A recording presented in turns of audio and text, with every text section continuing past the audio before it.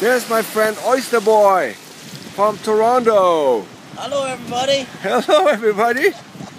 Oh, there in Vlogland. And we are, he's gonna bring us uh, oyster shells for our wonderful driveway. We're doing that for years already. Yeah, what we got one year under our belt. We got 80,000 80, oyster shells up here last year in the spring, summer, fall. Yeah. I hope to do 140,000 oyster shells here. That way we get to reuse the oysters and have a nice fun little project too. Yes, exactly. That's Beautiful. a great excuse for me to come up to the farm and eat some great food. Exactly. And then uh, the chickens like to pick on them once they're crushed down.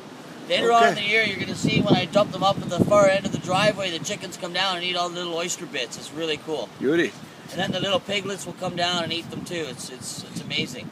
Yeah. There's nothing like the sound of chicken feet on empty oyster shells, baby. What kind of oyster shells do we got this time? So we have a bunch of BC oysters from uh, Hornby Island and Quadra Island. Yeah. Loads and loads of those. We've got some big ones. Oh, beautiful. And they'll really hold the soil in place well. Yeah. And we got lots of New Brunswick oysters, little uh, little ones, and they're a thicker shell, so they uh, they're really good too. They break up nice. Oh, nice. Yeah. Well, let's dump some. Yeah, let's dump some right here.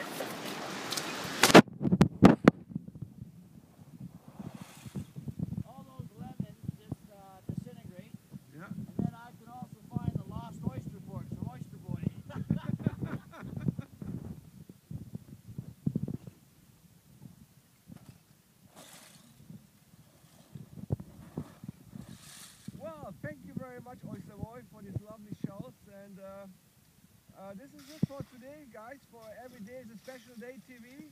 Always remember, reuse, recycle, and redo, eh? And this, by the way, is not PEI. This is Singhampton, Ontario.